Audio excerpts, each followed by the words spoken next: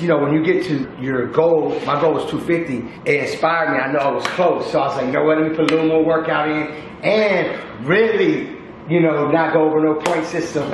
So as of today, you are at 250. You started at 293, so that brings you at a total of 43 pounds. I told everybody I'm gonna get to 250. I understand it. This two two fifty today. You know what that is for me? Started at 293. I'm 250. I'm in, I'm at a 2XT. I'm not, I'm gonna be honest with you. I love this feeling good, healthy. I'm I'm not, they call me Slim Jim. Like like they call me Slim Jim. Yo, pup, they call Slim Jim.